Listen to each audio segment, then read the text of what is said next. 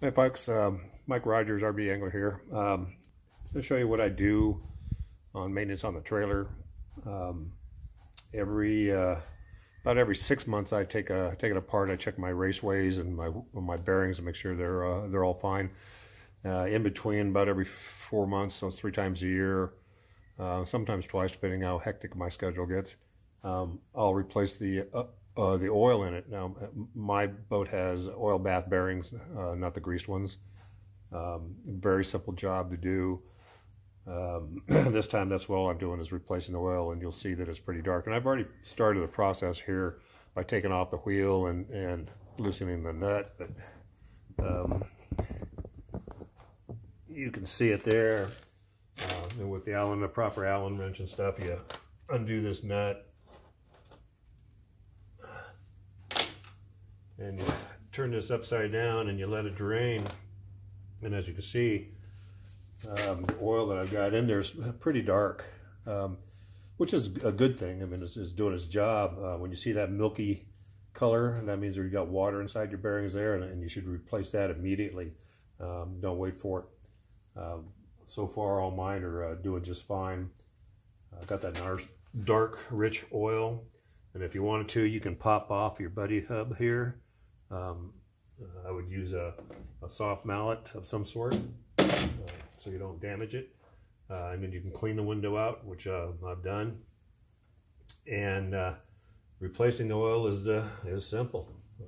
Turn that back up again and I always clean things up. Then I get my oil. In this case, I'm using the Lucas oil. It's a hub oil with um, synthetic with a blend. Uh, seems to do real well. And I just take my time on filling this up, otherwise you cause air bubbles.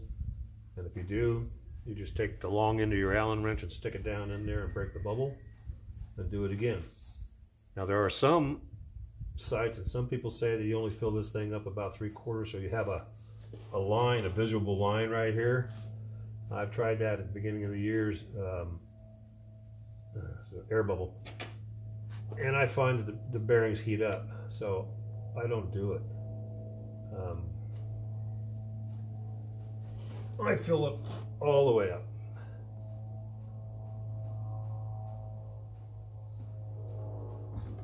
And then uh, once you're done with it,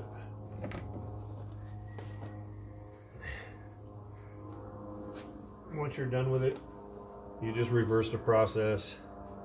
You put your um, Allen wrench screw on there.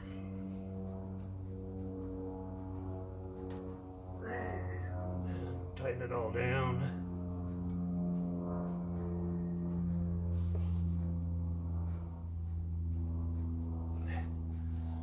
And you're good to go. You got uh, new oil in there.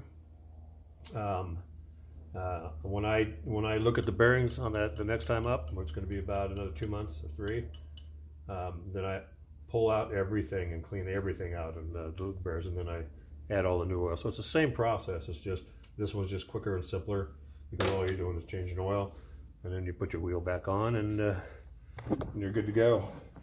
Um, don't neglect your trailer, your hubs and stuff. It's a very important part. You won't be able to fish if you don't do this. So um, when I'm done with this, I'll crawl under the boat and I check my, um, uh, I don't know, what do you call them, the, the uh, boat uh, carriers underneath. Um, uh, make sure all my bolts are up on there tight because sometimes they loosen out when you're on the road. And uh, and then I'm uh, put it all back together and you're good to go. Hope it helps you out. Don't forget it.